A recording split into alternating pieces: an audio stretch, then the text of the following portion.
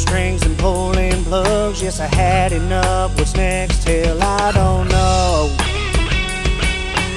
What she saw, guess I didn't see. But she handed me them strings, Said, boy, go play. You ain't a quitting man, so don't